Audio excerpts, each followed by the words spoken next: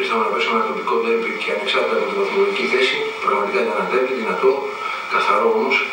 Ε, νομίζω ότι εμείς όλη την εβδομάδα δουλέψαμε, θέλαμε τους δύο τους τρεις βαθμούς για τους δικούς μας λόγους. Πρώτον να παραμείνουμε στην κορυφή και είμαστε πάλι στην κορυφή.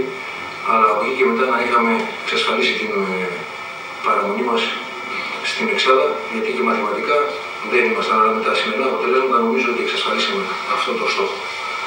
Από εκεί μετά νομίζω ότι δεν κινδυνεύσαμε ιδιαίτερα σε όλο το παιχνίδι, ήταν ένα παιχνίδι και το δυνατό, Όμως προς το τέλος νομίζω ότι εμείς αδικήσαμε τους ίδιους μας τους εαυτούς με τα δύο δοκάρια ε, και ειδικά το τελευταίο δοκάρι ήταν σχεδόν εξ επαφή.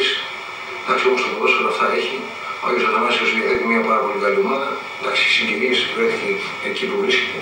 Εγώ εύχομαι τα καλύτερα στο Μιχάλη και στη δική μου ομάδα φυσικά να αφοσιωθούμε τώρα να δώσουμε χρόνο συμμετοχή σε κάποια παιδιά και να ετοιμαστούμε για την δεύτερη φάση. Θέλω να ε, ευχαριστήσω τον Άγιο για την φιλοξενία του, τον Μιχάλη